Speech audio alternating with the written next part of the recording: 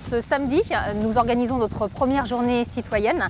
Euh, Nous avons la chance d'avoir 140 bénévoles, agents inclus, euh, pour cette première participation. Donc c'est plutôt une très belle réussite. Euh, Les bénévoles sont répartis sur un certain nombre de sites, donc en l'occurrence 5, plus une équipe spécifique qui est dédiée à la restauration. Les travaux vont être divers et variés.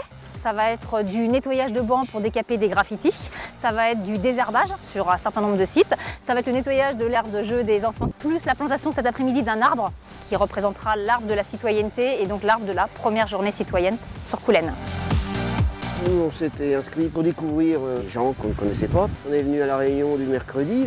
J'étais surpris de voir euh, tant de personnes que ça, de volontaires. L'accueil de ce matin, c'était sympa. On nous a attribué à, poncer les bancs euh, pour les repeindre euh, par la suite et enlever les tags, euh, les chewing-gums, tout ce qui est désagréable.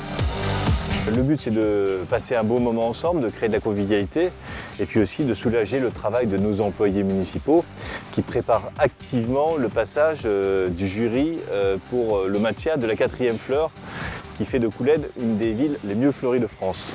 La réponse a été au-delà de nos espérances. On attendait une centaine et euh, nous avons 140 bénévoles qui ont répondu présent. Est bien, c'est que nous avons euh, des personnes de tous âges, euh, et puis aussi, nous avons euh, aussi des personnes handicapées qui sont venues, qui euh, travaillent chez Anaïs et qui nous avons euh, des gens qui travaillent tous ensemble et qui euh, le font dans un bon état d'esprit et c'est ce qui crée aussi de la cohésion. La devise de la République, c'est liberté, égalité, mais aussi fraternité. C'est ce que nous mettons aujourd'hui en œuvre euh, dans notre ville de Coulennes.